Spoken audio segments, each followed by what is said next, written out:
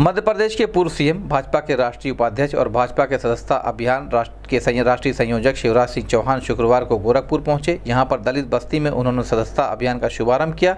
इसके बाद पूर्व सीएम गोरखपुर क्लब पहुँचे। कार्यक्रम में पहुँचे पूर्व सीएम, भाजपा के राष्ट्रीय उपाध्यक्ष और भाजपा सदस्यता अभियान के राष्ट्रीय संयोजक शिवराज सिंह चौहान का। भाजपा पदाधिकारियों और कार्यकर्ताओं ने दीनदयाल उपाध्याय और श्यामा प्रसाद मुखर्जी के चित्र पर माल्यार्पण कर दीप प्रज्वलित कर। सेक्टर विस्तार को भी की कार्यशाला का शुभारंभ किया। इस दौरान पूर्व सीएम भा, का भाजपा पदाधिकारियों और कार्यकर्ताओं ने माला पहनाकर अंग का स्वागत किया। पूर्व सीएम भाजपा के राष्ट्रीय उपाध्यक्ष और भाजपा सदस्यता अभियान राष्ट्रीय संयोजक शिवराज सिंह चौहान सेक्टर विस्तारकों की कार्यशाला को संबोधित किया और पार्टी में नए सदस्यों को कैसा जोड़ा जाए पार्टी पदाधिकारियों और कार्यकर्ताओं को बताया। साथ ही इस दौरान पूर्व सैनिकों और आम लोगों को बीजेपी की सदस्यता दिलवाया। इस दौरान सेक्टर विस्तारकों की कार्यशाला को संबोधित करते हुए कहा कि योगी सरकार भी प्रदेश में अच्छा काम कर रही है। उत्तर प्रदेश में विकास को देखते हुए ये कहने में संकोच नहीं करेंगे कि योगी सरकार को पाँच साल और मौका मिलना चाहिए। उन्होंने कहा, उसके बाद यहाँ की जनता देखेगी कि भाजपा की सरकार में विकास किस तरह हो रहा है। इस दौरान सेक्टर विस्तारकों की कार्यशाला, बीजेपी के क्षेत्रीय अध्यक्ष धर्मेंद्र सिंह, क्षेत्रीय उपाध्यक्ष सत्येंद्र सिंह सिन्हा, प्रदेश उपाध्यक्ष उपेंद्र शुक्ला, महानगर अध्यक्ष राहुल श्रीवास्तव सहित कार्यशाला में छह मंडल के एक सौ बासठ विस्तारकों और बड़ी संख्या में पार्टी के पदाधिकारी और कार्यकर्ता मौजूद रहे।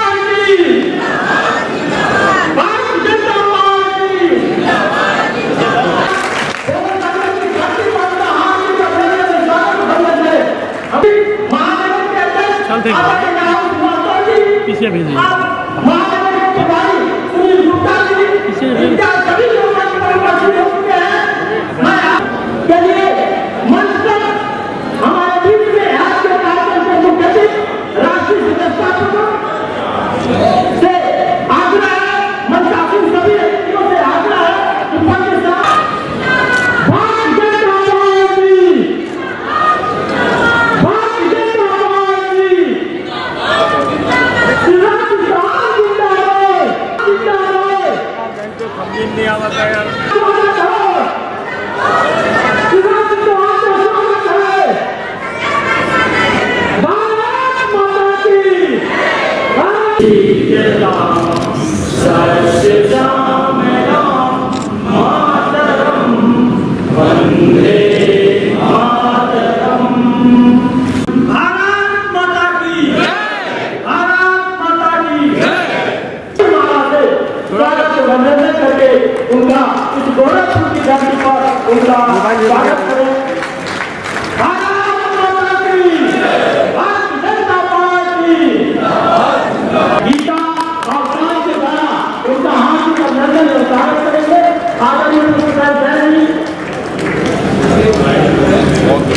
आइए आइए आप लोग भी आ जाइए आ जाइए। सामने सामने सर। लेकर के देश की रक्षा किए आज सेवानिवृत्त होने के बाद भारतीय जनता पार्टी में सदस्यता ग्रहण कर रहे हैं। हम सभी को है कि देश की रक्षा के लिए आपने जो समर्पण किया भारतीय जनता पार्टी में आपका उसी प्रकार से समर्पण रहेगा। भारतीय जनता पार्टी के कार्यकर्ता तो हम- आप हम उसी तरह कुमार श्रीवास्तव जी, आप हमारे महात्मा गांधी डिग्री कॉलेज के आप प्राचार्य हैं। इंजीनियर अखिलेश्वर नाथ त्रिपाठी जी, डॉक्टर राज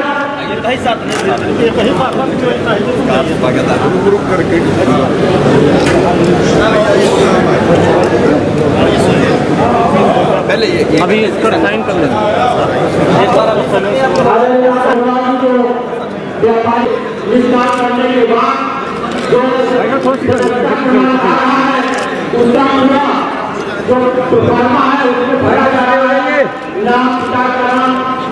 आदरणीय सरदार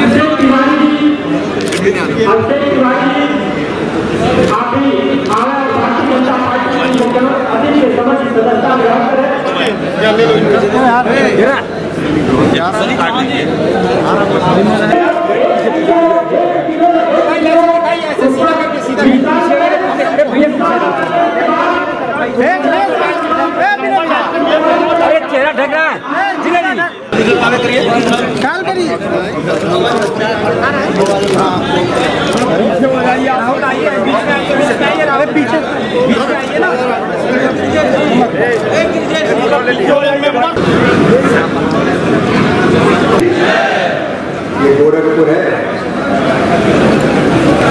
ये दमदार आवाज़ आनी चाहिए। योगी जी की गूंज सारे देश सुनाई दे रही है मोदी जी की सारी दुनिया बोले, भारत माता की। भारत माता की। यहाँ भारतीय जनता पार्टी की सदस्यता स्वीकार किए। समाज के अलग अलग वर्गों के भी हमारे साथी भारतीय जनता पार्टी में सम्मिलित हुए। Wing commander R P Singh ji, Pradeep Shukla ji, हमारे क्षेत्रीय मंत्री कृष्णजीतांश सिंह जी, पी डी जैन जी शिव सागर जी, बहन श्रीमती अली चौधरी जी रणजीत राम जी सत्येंद्र जी सत्येंद्र मिश्रा जी सत्येंद्र सिन्हा जी। अरे भैया पीछे क्यों नहीं देखा? आज जो हमारे साथी विस्तारक निकल हैं अरे बता रहे पीछे देखना चाहिए। सदस्यता के अभियान के लिए। हर एक सेक्टर से दो दो विस्तारक ऐसे मेरे विस्तारक भाइयों और बहनों आप सबको दोनों हाथ जोड़ के प्रणाम करता हूँ। आप सबको नमस्कार। आज जब मैं गोरखपुर आया, मैं इस बात के लिए सभी मित्रों को धन्यवाद देता हूँ गोरखपुर गोरखपीठ के कारण जाना जाता है। और दूसरा, अगर जाना जाता है तो गीता प्रेस गोरखपुर के लिए। और ये दो गोरखपीठ जब हमारी सुविधाएँ और भावनाएँ जुड़ी हुई है, भक्ति जुड़ी हुई है। बड़े महाराज जी के साथ भी मैं सांसद रहा हूँ। छोटे महाराज जी के सांसद के साथ भी मैं सांसद रहा हूँ। और इस पीठ पर मेरी अनन्य श्रद्धा रही है। एक तो पीठ के कारण गोरखपुर को मैं अत्यंत श्रद्धा की दृष्टि से देखता हूँ।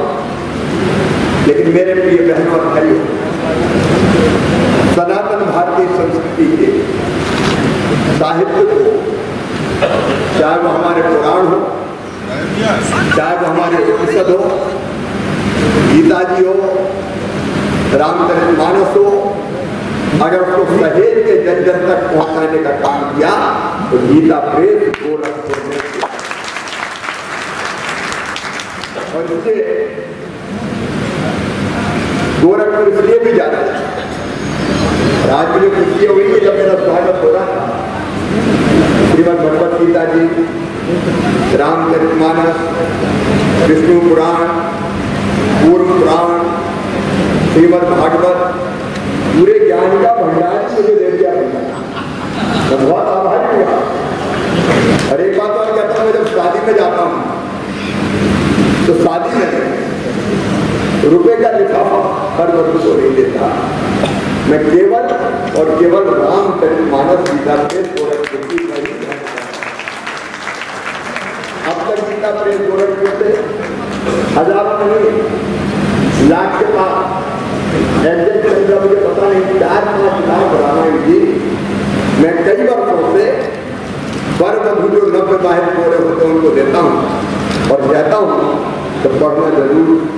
अपनी संस्कृति को मत भूल जाना, अपने धर्म को मत भूल जाना। आज मुझे रामचरित मानस मिल गई फिर मैं बहुत पसंद लेकिन आज हमारे एक और ऐसा दिन है। कारगिल विजय दिवस, कारगिल विजय दिवस। आप जानते हो मेरे प्रिय बहन और भाई, पाकिस्तान के नापाक इरादे, कारगिल चोटों पर भी पड़े। और सामने दम नहीं है, पाकिस्तान उनसे लड़ गए चोरी, छुपे, दबे कदमों से, चुपचाप कुछ पहाड़ों की चोटियों पर चोरों की तरह छिप के आके बैठ गए। अटल जी इस तरह प्रधानमंत्री से जैसे ही पता चला कि सीमा का अतिक्रमण हुआ और पाकिस्तानी सैनिक कुछ पहाड़ों पर पहुँचे तो हमारा दृष्टिकोण अलग था। पंडित जवाहरलाल नेहरू जब प्रधानमंत्री थे तो उन्होंने कहा था, उन्नीस सौ बासठ की युद्ध में, जब चीन ने हमारी ज़मीन पर कब्जा किया था तो नेहरू जी कहते थे, क्या फ़र्क पड़ता है? वहाँ घास का तरीका तक तो पैदा नहीं होता। तो एक सांसद ने कहा था, पंडित जी आपके सिर पे भी एक बाल नहीं होता क्या आपका सिर काट के दिया जाए।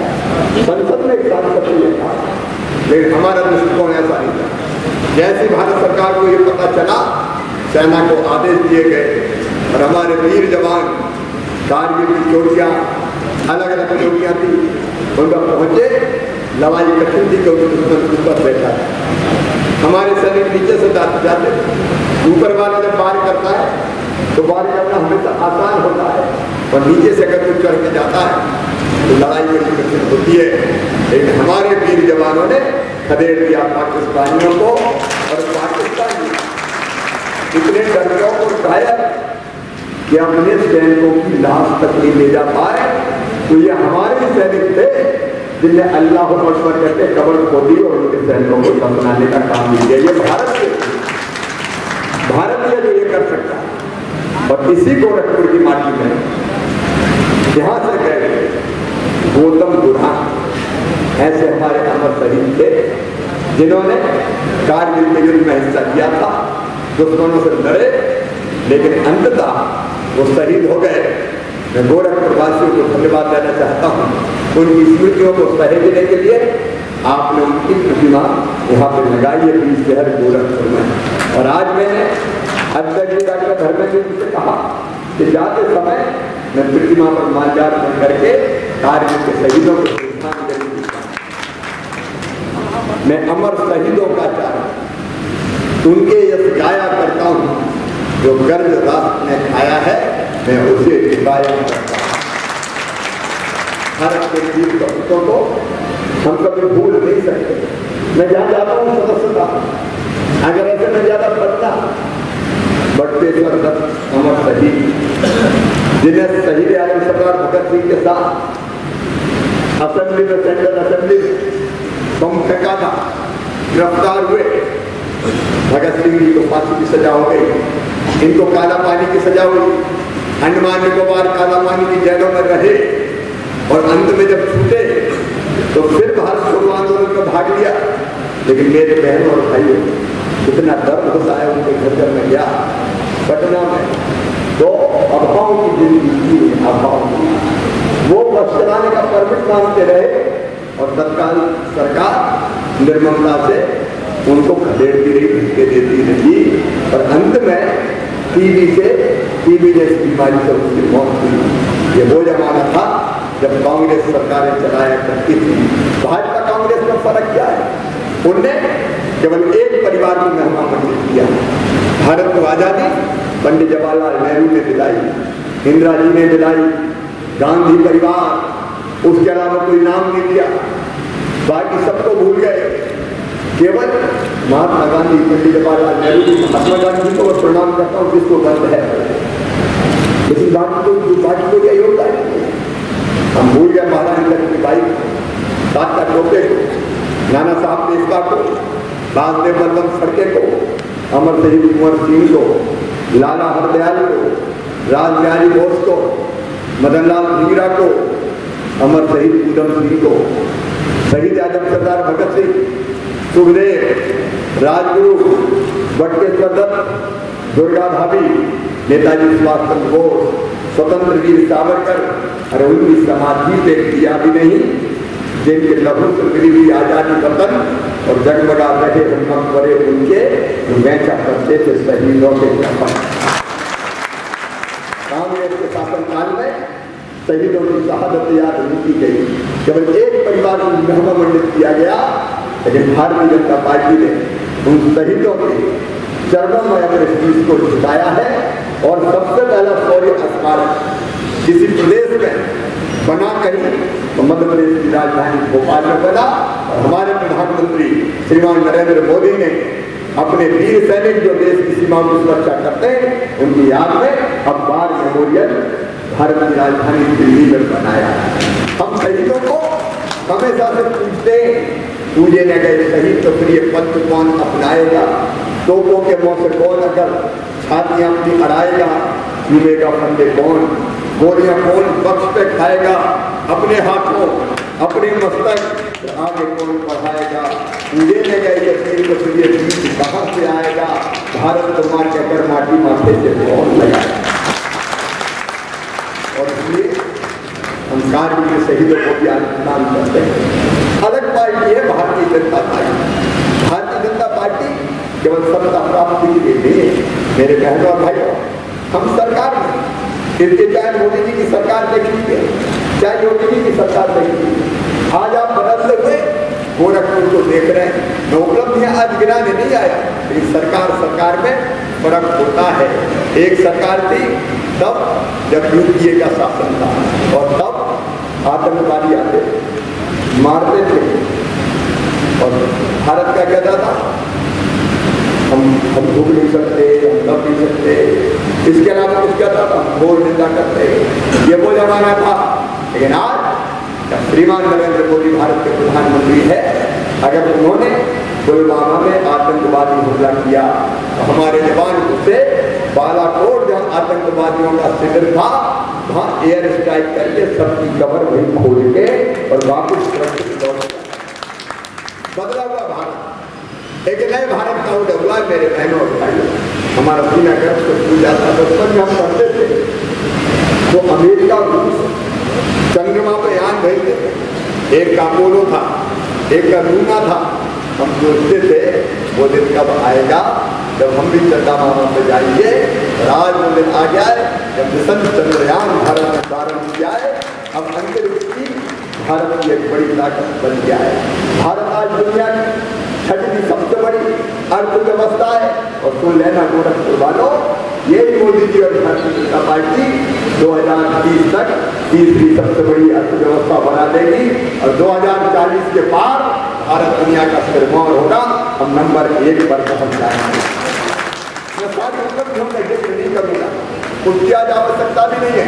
लेकिन एक नए भारत का उदय हो रहा है एक वैभवशाली भारत, एक गौरवशाली भारत, एक संपन्न भारत, एक समृद्ध भारत, एक शक्तिशाली भारत, एक ऐसा भारत जिसके नागरिक दुनिया के किसी कोने में जाते हैं।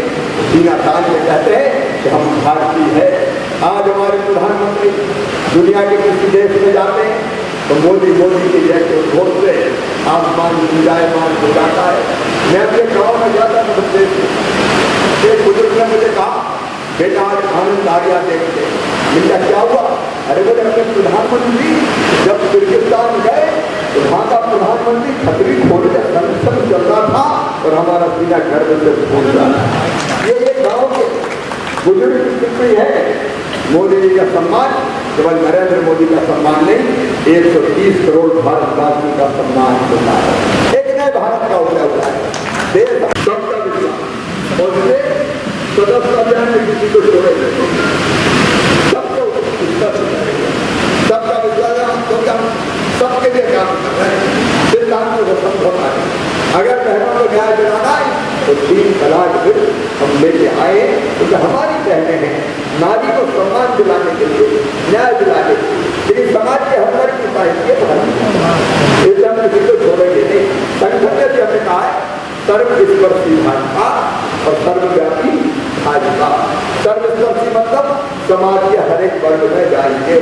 जैसे गोरखपुर वालों तो तो छोड़ना मत कई बार लगना हम क्या करोगे नहीं वहाँ तो नहीं मिलते जाने मिलते वहाँ सबसे ज़्यादा एक आदमी को का हो कोई समाज का हो कोई धर्म का हो हर एक को जोड़ेंगे। हर एक को जोड़ेंगे। सब जाति, वर्ग, समाज और प्रोफेसर क्या था आज कर्नल जुड़े, फिर कमांडर जुड़े, व्यापारी मित्र जुड़े अलग अलग क्षेत्रों से लोग जुड़े। प्रोफेसर के आधार डॉक्टर हो प्रोफेसर हो, वकील हो चार्टर्ड अकाउंटेंट हो प्राचार्य जुड़े। अलग अलग व्यवसाय के आधार पर भी जो काम करने वाले प्रोफेसर के आधार पर भी जो लोग हैं, उनको भी जोड़ना है। मैं गोरखपुर इकाई को बधाई देता हूँ। उन्होंने अलग अलग सुविधाओं को भारतीय जनता पार्टी से जोड़ा।